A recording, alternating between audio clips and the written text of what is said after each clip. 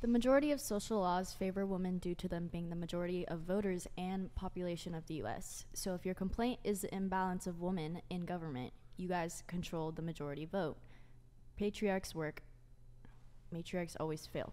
There's never been. We don't have any recorded matriarchies. So this whole matriarchs fail thing. There are no recorded matriarchies. We have no idea what the fuck it looks like.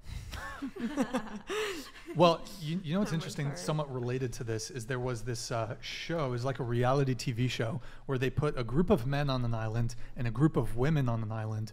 And let's just say it didn't go well for the women.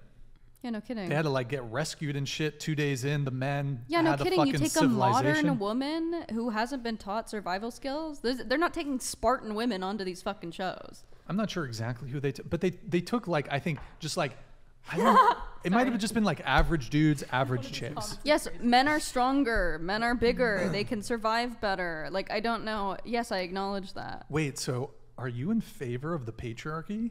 I think that in Do you I kind think of that like the the patriarchy the could patriarchy? work. It could work. It could work. You're about to be ostracized. It's like as capitalism. feminist. It's capitalism. Oh, okay. I think that I I love capitalism. I have okay. some criticisms, Oh. right?